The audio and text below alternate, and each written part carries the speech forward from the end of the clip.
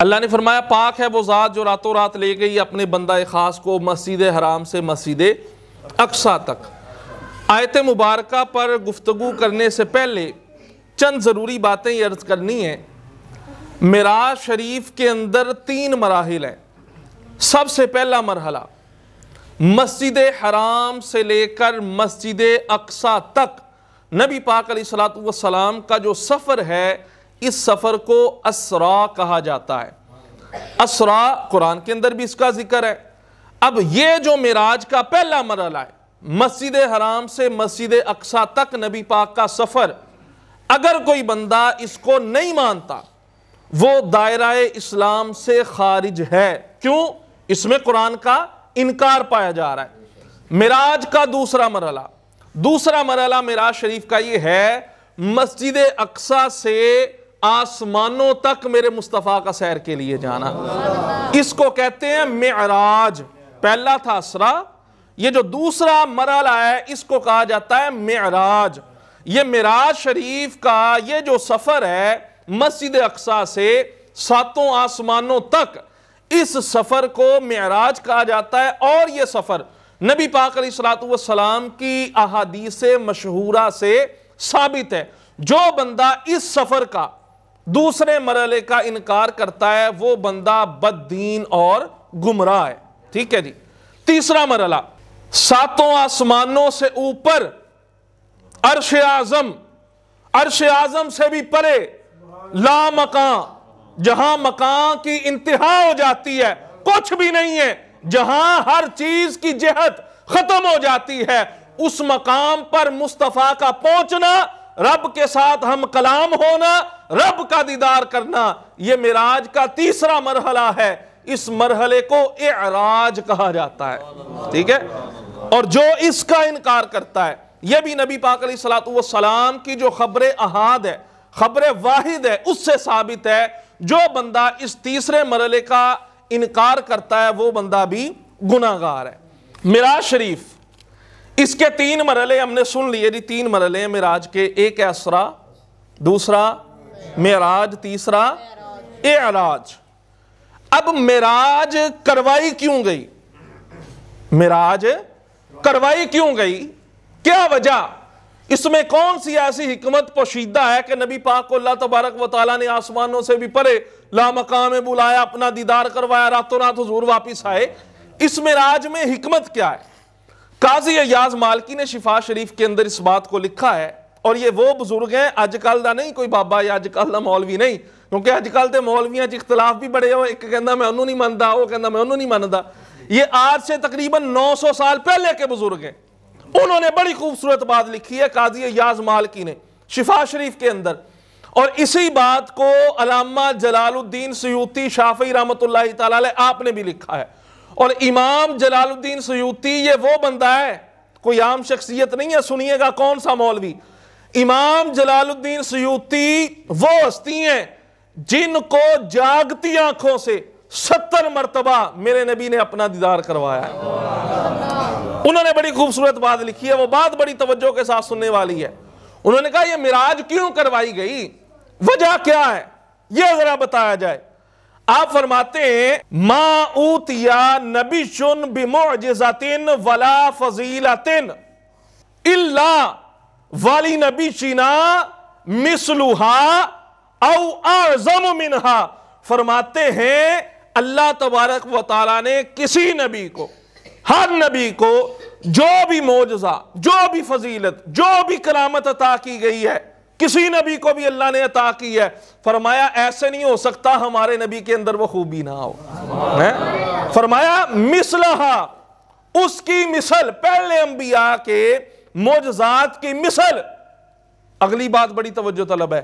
आगे फरमाया, औ आजामु मिनहा, या उससे भी बड़ा मोजा अल्लाह ने मेरे और आपके प्यारे आका को अता फरमाया है। इसकी एक बड़ी खूबसूरत मिसाल है। हज़रत आदम सलाम हज़रत आदम सलाम को फरिश्तों ने सजदा किया। कुरान के अंदर इसका वाज तौर पर ज़िक्र मौजूद है। अल्लाह ने फरिश्तों को हुक्म दिया, सजदा करो। फसा जदू सबने सजदा किया। इल्ला इबलीस, मगर इबलीस ने सजदा नहीं किया। अब उलमा ने फरमाया कि काजी अयास मालकी ने, इमाम जलालुद्दीन सयूती ने यह जड़ी गल लिखी है, ये गल तो हज़रत आदम अलैहिस्सलाम दा मौजजा। इनू समझाओ जरा। इस बात को खोलो। फरमाया यहाँ बड़ी दो खूबसूरत बातें। अल्लाह ने हज़रत आदम सलाम को ये जो फजीलत दी है, ये तो दी दी है, मगर मेरे आका को अल्लाह ने इससे भी बड़ी फजीलत और करामत अता फरमाई है। फरमाया, वो किस तरह? कहा, इस तरह। हज़रत आदम सलाम को सजदा किया। फरिश्तों ने सजदा किया, सजदा करके, सजदे से उठ गए। सजदे का इख्तिताम हो गया, तवज्जो के साथ सुनने वाली बात है। सजदा किया फरिश्तों ने, सजदा किया हज़रत आदम को फजीलत मिल गई, वो सजदे से उठ गए, सजदे का इनकिता हो गया, सजदा खत्म हो गया।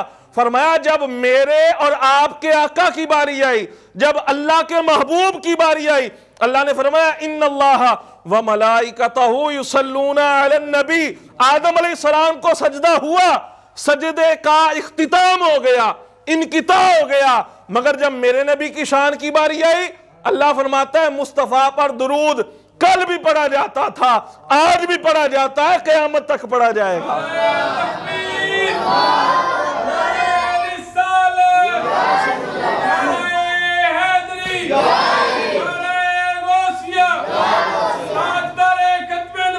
जिंदाबाद जिंदाबाद।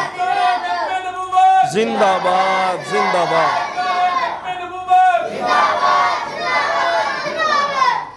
अब अगली बात सुनिए, इससे अगली बात और भी मोहब्बत वाली है। वो मोहब्बत वाली बात ये है, फरमाया, एक वजह फजीलत तो ये, वहाँ सजदे का इनकिता हो गया और मुस्तफ़ा कलीम सलाम पर दरुद सलाम आज भी जारी है, कयामत तक जारी रहेगा। अगली बात बड़ी खूबसूरत फरमाई फरमाया उलमा ने अगर इस बात पे हम गौर करें फ़िक्र करें तवज्जो करें बड़ी खूबसूरत बात है। वो बात ये है कि जब फरिश्तों ने सजदा किया आदम को ये हज़रत आदम सलाम की फजीलत है।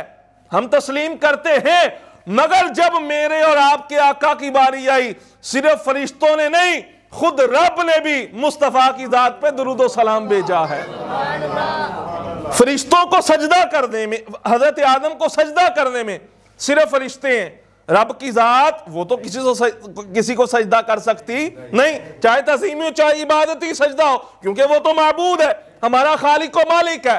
फरमाया, वहाँ सिर्फ़ फरिश्तों ने सजदा किया हज़रत आदम को, और मेरे नबी की फजीलत, बल्कि हज़रत आदम पर अफजलियत यह है कि अल्लाह ने सिर्फ़ फरिश्तों और मोमिनों को हुक्म नहीं दिया। फरमाया इन अल्लाह व मलाइकतहु, अल्लाह के फरिश्तों के साथ रब भी मुस्तफ़ा की जात पर दरूद बेचता है और इससे अगली बात इससे अगली बात टाइम कम है जी पानी कोई नहीं रखे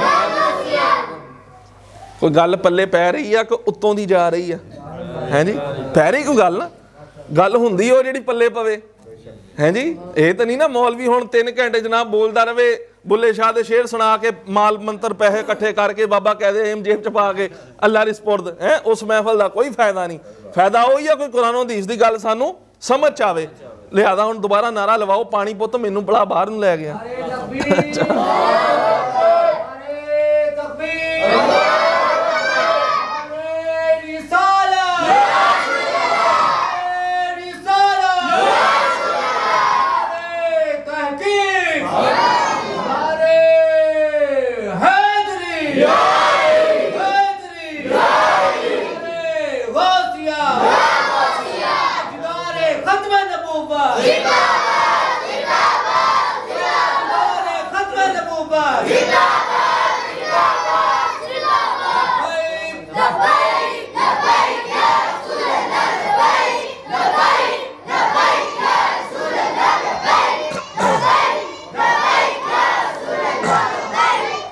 सुबह अल्लाह क्या बात है जी।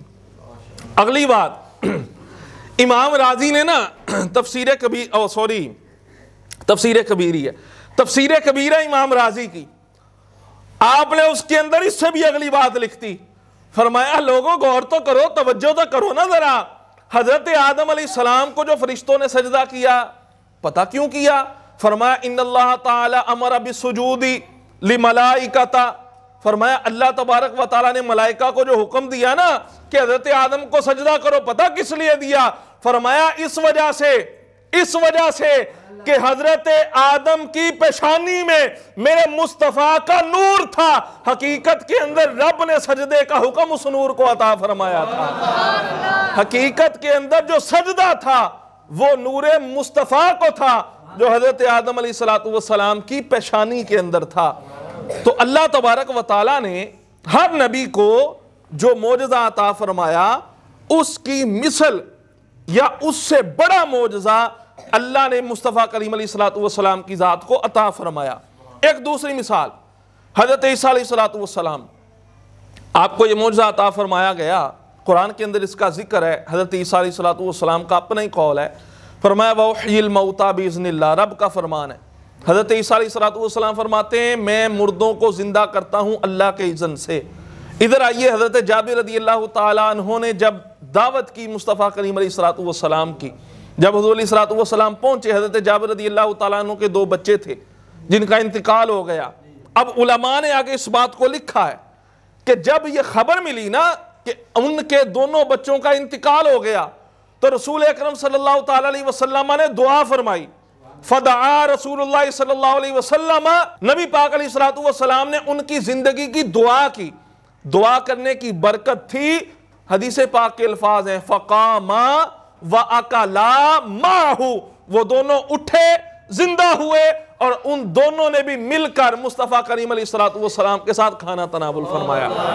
तो जो मौजा हज़रत ईसा को मिला, वही मौजा हमारे अकाल सलाम को भी मिला। इससे अगली बात सुनिए। हज़रत यूशा बिन नून अलैहिस्सलाम आप जब कौम जब्बारीन के साथ जिहाद कर रहे थे, जिहाद में मसरूफ थे तो आपको यह मोजाता फरमाया गया कि सूरज वहीं पे रुक गया। वो कौम जब्बारीन के साथ जिहाद कर रहे थे। तो जिहाद सारी बात है, दिन में करने का जरा ज़्यादा मज़ा आता है ना चास है जिदों काफरा वढ़ना अच्छा तो उस वक्त सूरज को रोक दिया गया। फरमाया, अब यह नहीं हो सकता कि जूशा बिन नून को तो मोर्जा मिले और मेरे आका को ना मिले। असर की नमाज़ थी, मौला अली की जात है, असर की नमाज़ कजा हो गई, मुस्तफ़ा करीम ने इशारा किया, वहाँ तो था, सूरज रुक गया। यह भी मौजा है, सूरज रोक देना। यह भी बड़ा कमाल है। मगर डूबे हुए सूरज को वापस पलटाना, ओ इमाम जलालुद्दीन सयूती ने जो कहा था, वो काजी याज मालकी ने 900 साल पहले कहा था कि पहले अंबिया से भी बड़ा मौजा। अल्लाह ने मेरे मुस्तफ़ा को अता फरमाया, वहाँ सूरज रुक गया। या डूबा हुआ सूरज मुस्तफ़ा ने इशारा किया, वापिस पलट आया इसी की तरफ़ तो इशारा किया मेरे इमाम ने। मेरे इमाम ने कहा ओए सूरज उल्टे, पाँव पलटे, चाँद इशारे से हो चाक। अंधे नजदी, ये देख कुदरत रसूलुल्लाह की।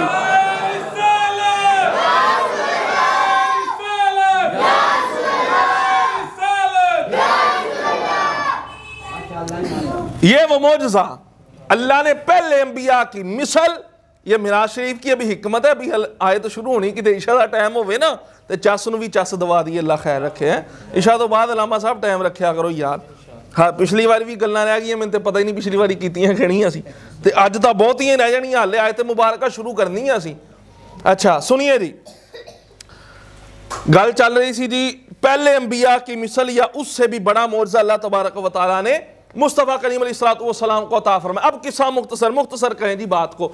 हज़रत ईसीम को अल्लाह ने मोजा आप चौथे आसमान पर उठा लिए गए।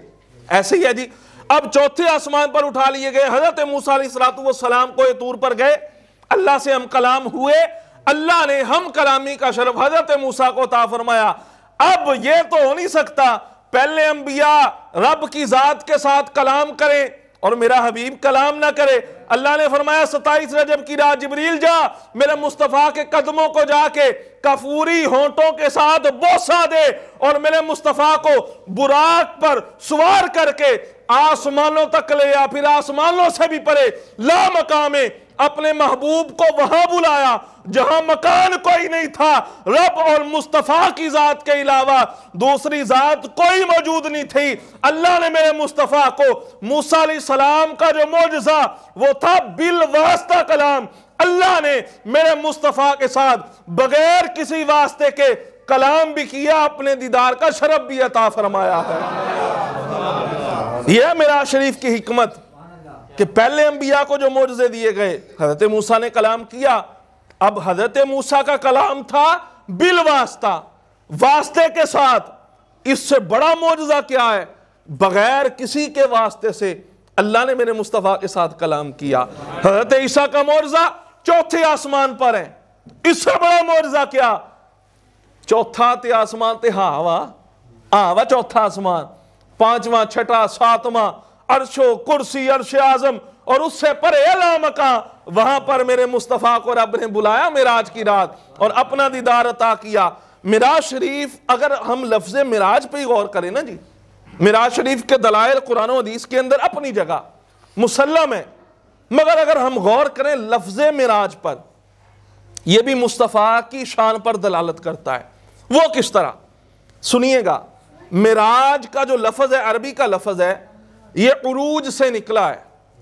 उरूज का मतलब होता है बुलंदियाँ, तरक्कियाँ, ठीक है?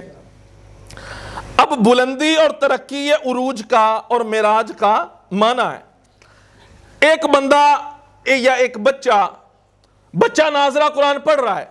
उसकी तरक्की और उसकी बुलंदी क्या है कि वो हाफिज कुरान बन जाए। हाफिज कुरान बन गया, उसकी तरक्की उसकी बुलंदी, उसका उरूज, उसकी मेराज क्या है? कि वो आलिम दीन बन जाए। आलिम दीन बन गया। आलिम दीन की मेराज, उरूज, बुलंदी, तरक्की ये है कि वो मुफ्ती इस्लाम बन जाए। प्राइमरी पास बच्चा है, उसकी बुलंदी, उसकी तरक्की ये है। बड़ी तवज्जो के साथ सुनने वाली बात है कि वो मैट्रिक पास कर ले। मैट्रिक पास के लिए ये तरक्की, ये उरूज है कि वो एफ़ ए कर ले। एफ़ ए वाले के लिए बी ए करे। फिर वो एम ए करे, फिर वो डबल एम ए करे, फिर वो जनाब इसके आगे क्या होता है? पीएचडी करे जी पीएचडी होल्डर ठीक है ना? बंदा नीचे से ऊपर जाए, इसको मिराज, इसको बुलंदी, इसको तरक्की कहते हैं। अब जो कहते हैं जी, कुरान में सिर्फ़ ज़िक्र है, मस्जिद हराम से मस्जिद अक्सा तक मेरे नबी गए, मेरे नबी की यही मिराज है, मस्जिद हराम से मस्जिद अक्सा तक गए। मैं कहा, नहीं मेरे नबी की मिराज ये नहीं है, मस्जिद राम से मस्जिद अक्सा तक जाएँ। ये तो मस्जिद अक्सा की मिराज है कि हुजूर ने मस्जिद अक्सा में कदम रखा है। ये मस्जिद अक्सा की मिराज है। आप कहेंगे, वो कैसे? मेरे पास दलील मौजूद है, और मैं आगे जो एंड पे बात करनी थी, वो अभी शुरू में कर देता हूँ। मिराज शरीफ मिराज शरीफ मक्के से ही, मस्जिद हराम से ही अल्लाह आसमानों पे हुजूर को बुला लेता। मस्जिद अक्सा वाया मस्जिद अक्सा। क्यों मेराज पे हजूर गए? उलमा ने इसमें एक हिकमत लिखी है। वो हिकमत ये है, मस्जिद अक्सा के अकेले अकेले सुतून ने अल्लाह की बारगाह में ये अर्ज़ की ए इलाही, बड़े बड़े अंबिया, जलीलुल कदर अंबिया, मेरे अंदर तशरीफ़ लाए। मैं, हमने उनकी जियारत का शर्फ पाया है। अल्लाह, हमारी ये ख्वाहिश है। सब सुतून ने अल्लाह की बारगाह में दुआ की इलाही, हम ये चाहते हैं, हमारी ये तमन्ना और आरज़ू है, नबी आखिरजमा सल्लल्लाहु अलैहि वसल्लम, मोहम्मद मुस्तफ़ा, अहमद मुजतबा भी मस्जिद अक्सा के अंदर कदम रखें, ताकि हम भी उनकी जियारत का शर्फ पालें। तो फरमाया, ये मस्जिद अक्सा की मेराज है कि हजूर मस्जिद अक्सा में तशरीफ़ लेके गए हैं। जो ये कहते हैं जी ये हजूर की मेराज है, सिर्फ़ मस्जिद अक्सा तक गए। मैं क्या आगे हम साबित करते हैं कहाँ कहाँ तक गए हैं मेरे मुस्तफ़ा। अब ये, अब कहेंगे इससे जनाब चलो अगे ला लो जी, आसमानों तक गए। आसमानों तक गए जी। मैं क्या ये भी मेरे नबी की मिराज नहीं, ये तो आसमानों की मिराज है। हाँ आप कहेंगे, दलील, इसकी दलील भी मेरे पास मौजूद है। दुर्रतुल नासहीन किताब है, उसके अंदर एक मुकालमा लिखा है, ज़मीन का और आसमान का। आसमान ज़मीन का आपस में मुनाजरा हुआ। मुनाजरा क्या हुआ? वो तो बेजा टेक के। मुनाजरा क्या हुआ? ज़मीन ने आसमान से कहा आसमान, मैं तुझसे अफजल हूँ। आसमान ने कहा, किस लिए? ज़मीन ने कहा, मुझमें नहरें हैं, मुझमें समंदर है, दरिया हैं, जनाब दरख्त हैं, पहाड़ हैं, सब कुछ तरह तरह की नेमतें इंसान जो खाता है मेरे अंदर है। मैं तुझसे अफजल हूँ। आगे से आसमान ने जवाब दिया, ज़मीन, तू अफजल नहीं है, मैं अफजल हूँ। कहा, किस लिए?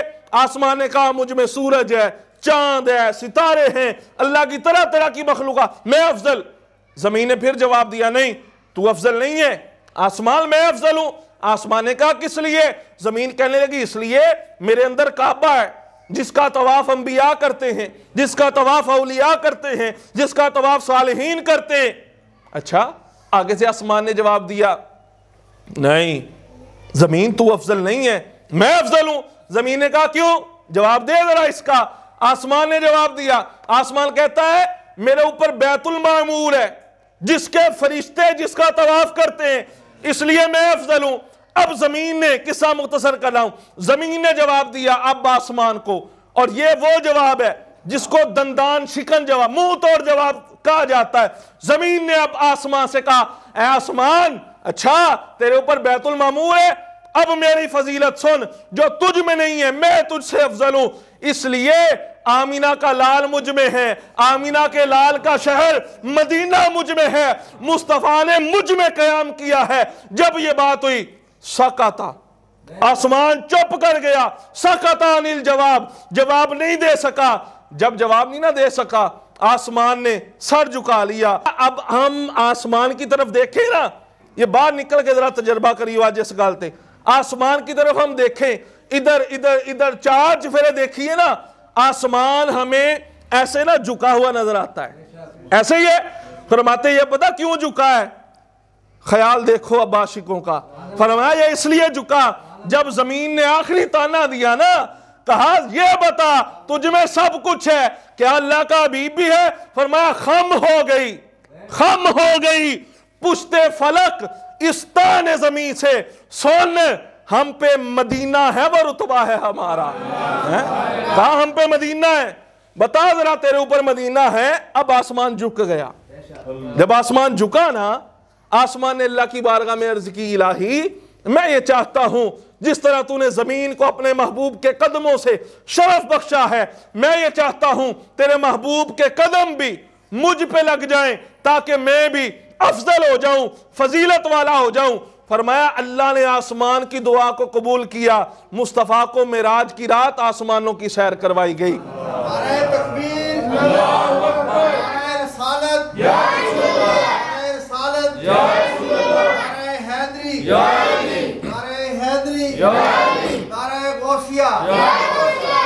गल समझ आई? अब आसमानों पे हजूर का जाना। ये हुजूर की नहीं ये आसमान की मेराज है, क्योंकि आसमान ने भी दुआ मांगी थी। अल्लाह अपना सोना महबूब, सोना हबीब जरा साढ़े तक भी भेज। ये आसमान की मेराज है। कहा हुजूर की मेराज क्या है? मैं क्या आसमानों से उत्ते चले जाओ अरश आज़म पे चले जाओ। अरश आज़म पे जाना, ये भी हकीकत में हुजूर की मेराज नहीं है। ये मैं इश्क की बोली बोल रहा हूँ वगरना उलमा ने इसको मेराज लिखा है। मगर मैं जिस पैराए में बात कर रहा हूँ ना, कोई गलत मतलब ना ले ले। समझिएगा अरश आज़म पर जाना। यह भी इस हवाले से मेरे मुस्तफ़ा की मिराज नहीं कहा, किस लिए? फरमाया इसलिए कि अब इस वक्त जिस खत्ता ज़मीन पर, गुंबद खजरा शरीफा के अंदर जिस जगह मुस्तफ़ा करीम सलाम आराम फरमाए ना, वो जगह अरश आज़म से भी अफजल है। हमने मिराज का माना यह पढ़ा था तरक्की करने को। बुलंदी हासिल करने को मिराज कहा जाता है। अगर मिराज हो, हुजूर की मस्जिद अक्सा जाना, मस्जिद अक्सा से तो मेरे नबी पहले ही अफजल है। अगर आसमानों पर हो, हुजूर का जाना, यही सिर्फ़ मिराज हो, सिर्फ़ यही मिराज हो तो आसमानों से तो पहले ही मेरे नबी अफजल है। मिराज कैसे हुई? हाफिज आलिम बने, फिर मिराज है। आलिम मुफ्ती बने, फिर मिराज है। मुफ्ती आगे फिर शेखुल इस्लाम, मुहद्दिस मुफसर बने। फिर उसकी मेराज है। मुस्तफ़ा की मेराज ये नहीं, आप आसमानों पे जाएँ। आसमानों से तो आप पहले ही अफजल हैं, और अर्श आज़म से तो वो जगह अफजल है। जहाँ मेरे मुस्तफ़ा का जिसम लगा है, फिर नबी की मिराज क्या है? मैं कहा, नबी की मिराज ये है, मुस्तफ़ा अर्श आज़म से भी परे ला मकाम गए, जहाँ जगह कोई नहीं, सर की आँखों से रब का दीदार किया, जागती हालत में, और इस हाल में किया, माँ जागल बसर माँ तगा, आँख भी नहीं जबकि, ये मेरे मुस्तफ़ा की मिराज है। ये मिराज बनती है, रब का दीदार करना ये मेरा है वगर ना आसमान ते हावा अरश आदम ते आ पिया मेरे नबी ली? है? मस्जिद अक्सा तो ये है, मेरे नबी तो पूरी कायनात से अफजल है, सारी कायनात के लिए रसूल बन के आए हैं। फरमाए, ये लफ्ज मिराज पे अगर हम गौर करें ना, ये लफ्ज मिराज ही इस बात की दलील है कि मुस्तफ़ा करीम सलाम ने जागती आँखों से मेरे रब का दीदार किया है। मिराज से वापिस तशरीफ़ लाए जैसे ही वापस आए, हज़रत उम्मे हानी रदी अल्लाह तला के घर से हजूर को मिराज हुई। उस घर से मिराज क्यों हुई? ये भी आखिर में मैं इंशाल्लाह अर्ज़ करूँगा, अगर वक्त रहा तो। हज़रत उम्मे हानी को सुबह नबी पाक सलाम ने इर्शाद फरमाया, उम्मे हानी, में रातों रात गया, अल्लाह का दीदार किया, वापस आ गया। अब मैं जा रहा हूँ, मैं लोगों से ये बात बयान करूँगा। हज़रत उम्मे हानी ने कहा यार आप ना बताएँ। लोग नहीं मानेंगे। लोग तस्लीम नहीं करेंगे, आपको जूठा कहेंगे। खैर, नबी पाक सलाम तशरीफ़ ले गए। ऐलान फरमाया लोगो, मैं रातों रात गया अल्लाह की बारगाह में, अल्लाह का दीदार किया, हम कलामी का शरफ हासिल किया, रातों रात वापिस आ गया। कुफार मक्का ने नबी पाक सलाम को जुटलाया जैसे ही जुटलाया ना, अल्लाह ने यह आयत मुबारक नाजिल फरमा दी। सुबहान असरा। फरमाया काफिरो तुम ये समझते हो कि आदतन आसमानों पे जाना ये मुहाल है, कोई जा नहीं सकता, रातों रात गया, वापस भी आ गया, मुसाफत तो इतनी है। फरमाया हाँ ये मखलूक के लिए नामुमकिन सी बात है, मगर जब रब चाहे, है? रब तो कादिर है, वो जो चाहे कर सकता है। फरमाया, मुस्तफ़ा ने तो मिराज पे जाने का दावा ही नहीं किया। सुबहान असरा अगर ना ले जाए रब की जात, ये ऐब है। फरमाया, सुबहान, मेरा रब हर ऐब से पाक है। फरमाया, रब हर ऐब से पाक है। और दूसरी वजह उलमा ने लफ्ज सुबहान की लिखी, कि इस आयत को सुबहाना के लफ्ज से क्यों शुरू फरमाया?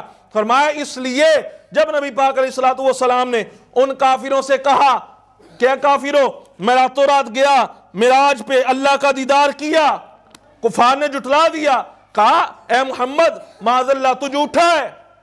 अल्लाह ने फरमाया, सुबहान। ओ लोगो, खबरदार, सुबहान, रब की जात पाक है। मतलब क्या? मतलब ये है तनज़ल्लाहु रसूलन कज़ाबा अल्लाह तबारक व इस बात से पाक है कि वो किसी झूठे को अपना रसूल बनाए। और ये तो रसूल है। जब रसूल है, झूठ बोल नहीं सकते तो फिर मान लो जो मुस्तफ़ा ने कहा, वो यकीन सच्ची बात है। इसमें कोई झूठ नहीं है। फरमाया, इसलिए लफ्ज सुबहान से अल्लाह तबारक व ने इस आयत मुबारक की इब्तदा फरमाई। आगे चलिए। सुबहान असरा। पाक है वो ज़ात। असरा, जिसने सैर करवाई। अब असरा का लफज जो है ना यह भी नबी पाक सलाम की मिराज की इस हवाले से दलील है। कुछ लोग कहते हैं, नबी पाक को मिराज हुई है ख्वाब में, बेदारी में नहीं, असरा अरबी का लफज है। यह तब बोला जाता है जब रात को सैर करवाई जाए और ख्वाब में नहीं, हालत बेदारी में सैर करवाई जाए। तब अरबी के अंदर बोला जाता है, असरा। फरमाया, असरा का जो लफज है यह इस वजह से लाया गया कि नबी पाक सलाम को जो बेराज हुई है ना, ये ख्वाब में नहीं, हालत बेदारी में हुई है। और अगली बात समझिएगा जरा। फरमाया, असरा। नबी पाक सलाम ने सैर की। एक होता है सफ़र, एक होती है सैर। सफ़र और सैर में बड़ा फ़र्क है। फ़र्क कैसे है? सफ़र वो होता है, जब बंदा सफ़र पे जाता है ना इधर उधर ज़्यादा तवज्जो नहीं देता, रस्ते में चीज़ों को नहीं देखता। उसका मकसूद होता है मंजिल तक पहुँचना। मगर जो सैर होती है सैर पे आप चले जाओ ना, हम गए ये चाइना बॉर्डर पे, ये कश्मीर की तरफ़ भी गए सैर के लिए। तो हम अपनी गाड़ी थी बार बार रोक यार रोक, अभी पहाड़ी देख लिए रोक, ये भी खाई देख लें, रोक, ये जो है, पानी का इतना प्यारा चश्मा है, इसको देख लें, ये आप शार चल रही है, इसको देख, यानी बंदा जब सैर करता है ना तो रुक रुक के, ठहर ठहर के, हर चीज़ को देखता जाता है। अब नबी पाक सलाम के बारे रब ने क्या फरमाया? फरमाया, असरा। अल्लाह ने अपने महबूब को सैर करवाई है। मालूम ये होता है, मालूम ये होता है। हम जब सैर करें ना, हम देखते हैं ज़मीन के ऊपर, मगर मेराज की रात, रब ने जो सैर करवाई ना मेरे मुस्तफ़ा को, किस्सा मुख्तसर, एक नुकता दे रहा हूँ। मुस्तफ़ा करीम मस्जिद राम से, मस्जिद अक्सा की तरफ़ जा रहे हैं। रस्ते में हज़रत मूसा की कबर आई। हम तो देखते हैं सैर करते ज़मीन के ऊपर। मेरे नबी की जात, वो जात है जो ज़मीन पर सैर करते हैं फरमाया, मुस्तफ़ा करीम सलाम ने, मरर तू भी कबरी मूसा, मैं मूसा की कबर के पास से गुजरा, मैंने क्या देखा? वह हुआ काइमुन युसल्ली, मैं क्या, ज़मीन के नीचे भी मेरे मुस्तफ़ा की नज़र है, ज़मीन के नीचे भी देख रहे हैं। इसलिए फरमाया, मैं जब कबर से गुजरा, सैर कर रहे थे ना, ये मेरी तेरी सैर थोड़ी है, ये तो सैर है नबियों के इमाम की, ज़मीन के ऊपर नहीं ज़मीन के नीचे भी मुस्तफ़ा करीम सलाम ने देखा और इसी बात को, इसी बात को सैर कहा जाता है। और एक होती है सैर। हमने ये समझ लिया, सफ़र और सैर में बड़ा फ़र्क है। सैर के अंदर भी दो पहलू हैं। एक होता है सैर करना, एक होता है सैर करवाना। तवज्जो कीजिएगा जरा, हम गए लाहौर। बादशाही किला, बादशाही मस्जिद और जो सामने किला है, बादशाही किला ही है ना जी? उदा ना। है जी बादशाही किला देखना। हम अंदर इंटर हुए, वहाँ पर जो वहाँ के इंचार्ज हैं, वो और उन्होंने बंदे रखे होते हैं जी, ये आपको विज़िट करवाएँगे, आपको तरह तरह की चीज़ें गाइड करेंगे, आपको ये फलां चीज़ है, ये फलां ये फलां ये फलां। हम गए सिंध के अंदर, मोहम्मद बिन कासिम रही जिन्होंने सिंध को फतह किया। अब उनका जो किला था, हम वहाँ पे जब देख रहे एक बंदा हमारे साथ, उसने कहा, ये जी फलां खड्डा है, इसमें धोबी कपड़े धोते थे, यहाँ ये यहाँ ये, यहाँ। मकसद ये, जो वहाँ का इंचार्ज होता है ना, वो अकेली अकेली चीज़ की खबर देता है। मैं कहा, जरा गौर तो कर इधर। असरा, सैर की नहीं, असरा, सैर करवाई। किसने करवाई? कायनात को पैदा करने वाले रब ने करवाई। मैं कहा, बता, दुनियादार कोई इंचार्ज हो जिसको एक जगह का जनाब चार्ज मिला हो, वो अकेली अकेली चीज़ के बारे में बताता है, जो सैर करने आता है। मैं क्या मुझे ये बता कायनात को पैदा करने वाले रब ने जब मुस्तफ़ा को, रब ने जब मुस्तफ़ा को सैर करवाई होगी, कैसी सैर है? मुझे बता, सैर करवाने वाला वो है, जिसने ज़मीन को आसमान को, सारी कायनात को पैदा किया। मैं कहा, जब रब ने सैर करवाई ना, मानना पड़ेगा, कायनात पूरी के अंदर कोई चीज़ ऐसी नहीं जिसका इलम मेरे मुस्तफ़ा के पास ना हो। इसलिए हम कहते हैं, सर अर्श पर है, तेरी गुजर दिल फर्श पर है। तेरी नज़र, या रसूल अल्लाह मलाकू में कोई शय नहीं वो जो तुझ पे अया नहीं। और या रसूल जब तुमने रब को ही देख लिया, जब आपने रब को देख लिया, है, इतनी खूबसूरत बात की जी। फरमाया, और कोई गैब क्या? तुमसे निहा हो भला जब ना खुदा ही छुपा तुम पे करोड़ों दुरूद, है। अल्लाह ने सैर करवाई मेरे मुस्तफ़ा को। अब जो सैर करवाता है ना वो साथ गाइड भी करता है। जी, ये फला मकाम है, इस पे फलाना बादशाह आया था, उसका घोड़ा यहाँ पे बंधा गया था, यहाँ ये हुआ, यहाँ वो हुआ। मैं कह, रब ने सैर करवाई मेरे मुस्तफ़ा को और ज़मीनों से आसमानों तक। फिर रह की गया। तहतुसुरा थले तक। हजूर दस रहे हैं, ज़मीन के थले हज़रत मूसा कबर च नमाज़ पढ़ रहे हैं। फिर उत्ते देखिए जरा अरश आज़म सिदरतुल मुंतहा अरश आज़म ਹਜ਼ੂਰ ਤੇ ਉੱਥੋਂ ਤੱਕ ਵੀ ਗਿਆ ਫਿਰ ਜਹਾਨ ਚ ਹੋਰ ਚੀਜ਼ ਬਚਦੀ ਕਿਹੜੀ ਹੈ ਜਿਹੜੀ ਮੈਨੂੰ ਮੇਰੇ ਮੁਸਤਫਾ ਦੇ ਇਲਮ ਚ ਨਾ ਹੋਵੇ ਕੋਈ ਚੀਜ਼ ਬਚਦੀ ਨਹੀਂ ਯਾਰ ਕਿਉਂਕਿ ਰੱਬ ਨੇ ਸੈਰ ਕਰਵਾਈ ਹਾਂ ਕੋਈ ਇੰਚਾਰਜ ਹੋਵੇ ਨਾ ਉਹ ਤਾਂ ਝੂਠੀ ਗੱਲ ਵੀ ਦੱਸ ਸਕਦਾ ਉਹਨੂੰ ਕੀ ਪਤਾ जनाब सौ साल पहले की होया तो अज जमे अज उ इंचार्ज बन के बैठा मगर रब के इलम में तो हर शे है ना जिसने पैदा किया तो ये रब का सैर करवाना इस बात की दलील है कि कायनात के चप्पे चप्पे का इलम अल्लाह ने मेरे और आपके आका को अता फरमाया है। यानी असरा सुबहान लदी असरा। आगे चलिए, बी अबदी ही। फरमाया, सैर करवाई अल्लाह तबारक व ताला ने अपने बंदाए खास को। किसको सैर करवाई? बंदाए खास को। भी अब्द ही का लफज है। आप इधर हैं इतने आओ तुम बस ठीक है। अब्दी ही सुबहान अल्लदी सुबहान ते भी गल होगी अल्लदी वो जात, असरा जिसने सैर करवाई, बे अब्दी ही अपने बंदा खास को। अब उलमा ने फरमाया, इधर तवज्जो करो भाई, इधर मैं थोड़े ना गल्ला कर इधर देखो जरा मेरे हल, उधर ना देखो कैमरे हल, इधर मेरी तरफ़ देखो। फरमाया भी अब्दी ही अपने बंदा खास को सैर करवाई। अब उलमा ने फरमाया, यहाँ पर अल्लाह ने अब्द क्यों कहा अपने महबूब को? नबी पाक सलाम को ना नबी का अल्लाह ने, ना रसूल का, बल्कि असराब अब्द ही अपने बंदे को सैर करवाई। फरमाया, इसलिए जो लोग ये कहते हैं ना, सिर्फ़ नबी पाक की रूह को सैर हुई है, रूह को मिराज हुई है। फरमाया, इस आयत में उन बातों का रद्द है, उन लोगों का रद्द है, जो ये कहते हैं सिर्फ़ नबी की रूह को सैर हुई। फरमाया, अब्द किसको कहते हैं? अबद कहते हैं, इन्नल अबदा। इसमुन लिमजमू रूही वल जसद अबद कहते ही उसको है, जिसम भी हो, रूह भी हो। जब जिसम और रूह का इजतिमा होता है, फिर बंदा बंदा बनता है, वगरना उसको अबद कह ही नहीं सकते। फरमाया ही, मालूम हुआ मुस्तफ़ा ने जो मेराज की है, अल्लाह का दीदार किया, रूह और जिसम के साथ किया है।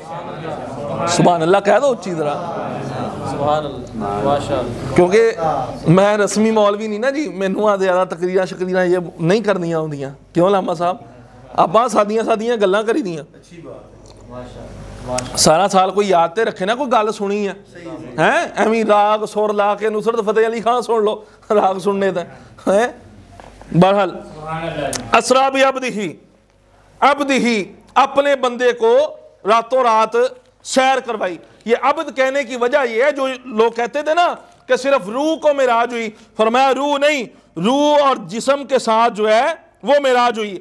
और दूसरी वजह उलमा ने बड़ी खूबसूरत लिखी है। और हमारे मुसलमानों के अकीदे की बात है कि अल्लाह ने यहाँ अबद का लफ्ज क्यों लिखा? फरमाया, इसलिए जब हज़रत ईसा चौथे आसमान पर गए ना, ईसाइयों ने क्या कहा? ईसाइयों ने कहा, जो चौथे आसमान इतनी बुलंदियों पर गया, वो तो खुदा है। अल्लाह ने इसलिए ईसाइयों का मुँह बंद करने के लिए फरमाया भी अब्द ही।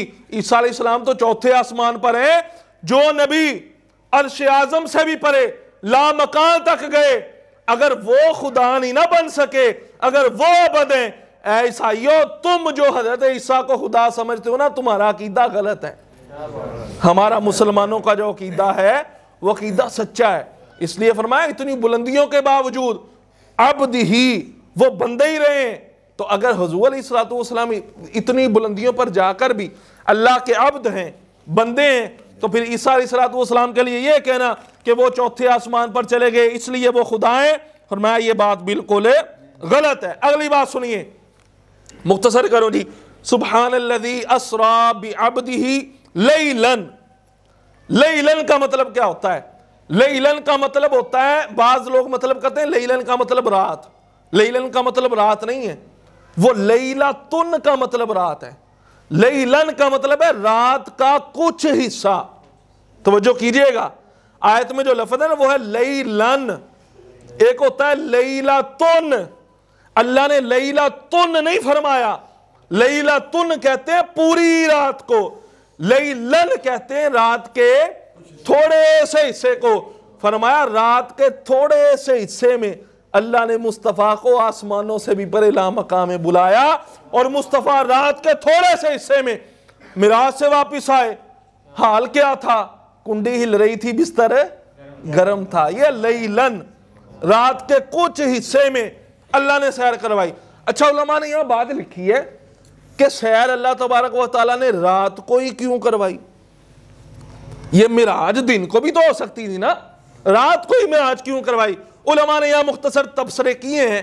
चंद एक मैं आपके सामने रखता हूँ, मगर जो तबसरा इमाम अहमद रजा बरेलवी ने किया है, क्योंकि जब अहमद रजा बोलता है ना जी, कमाल ही करता है, मैं मुख्तसर बात अर्ज़ करता हूँ। कईयों ने कहा जी, रात को इसलिए मिराज हुई कि अक्सर नबी पाक सलाम के जो मोर्जे हैं बड़े बड़े मसलन चाँद का दो टोटे होना, वो भी रात में था, इसलिए अल्लाह ने मिराज भी रात में करवाई। हिजरत का सफ़र रात में था, इसलिए अल्लाह तबारक वाली ने मिराज का सफ़र भी रात को ही किया इमाम अहमद रजा बरेलवी फतावा रजविया है जिल्द नंबर उनतीस है सफा नंबर 631 है ਤੁਸੀਂ ਸੁਭਾਨ ਅੱਲਾ ਨਹੀਂ ਕਹਿਣਾ ਕਿਉਂਕਿ ਮੈਂ ਕਿਹੜਾ ਕੋਈ ਸੁਰ ਲਾਈ ਆ ਮੈਂ ਕਿਹੜਾ ਬੁੱਲੇ ਸ਼ਾਹ ਬੜਿਆ ਹੈ ਕਿਤਾਬ ਦਾ ਨਾਮ ਲਿਆ ਨਾ ਜੀ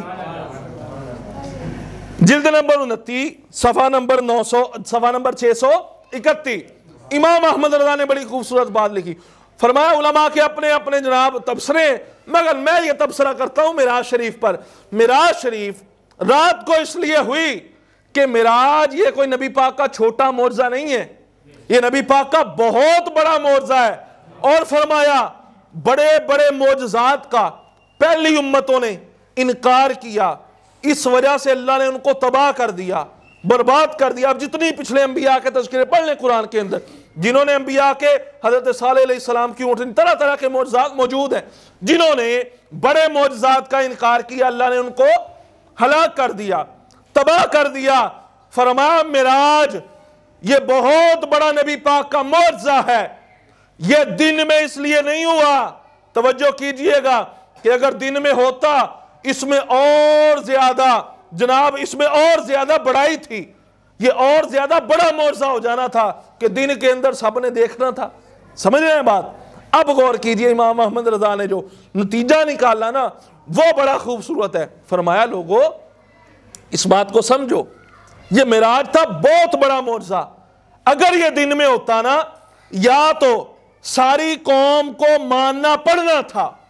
अगर ना मानते, पहली उम्मतों की तरह अल्लाह उनको तबाह कर देता बर्बाद कर देता। सुनिएगा मोहब्बत वाली बात। फरमाया इमाम अहमद रजा ने, और दूसरी तरफ़, रब ने तो कुरान में फरमाया, वमा कान अल्लाहम व काफिरों ने इनकार करना था। वो हट धर्म थे। उन्होंने मानना नहीं था। बड़ा मोर्जा अगर ना मानते, तबाह हो जाते। मगर अल्लाह ने कहा वमार सल्ला का इल्ला रहमत आलमीन। नबी, तू तो दोनों जहानों के लिए रहमत बन के आया है। फरमाया, दिन में अगर मिराज होती काफिरों ने इनकार करना था, अल्लाह ने हलाक कर देना था, तबाह कर देना था। फरमाया, रात में मिराज अल्लाह तबारक व ताला ने इसलिए करवाई ताकि अल्लाह तबारक व ताला दुनिया पर, दुनिया वालों पर, कायनात पर यह भी ज़ाहिर कर दे, ये मेरा महबूब, वो महबूब है जिसको मैंने दोनों जहानों के लिए रहमत बना के भेजा। इसलिए रातों रात सैर करवाई, अगर दिन में करवाते काफिर अबू जैल इनकार किया ना सभी काफिरों ने। इनकार कर देते, तबाह हो जाते। मगर ये हुजूर की रहमत है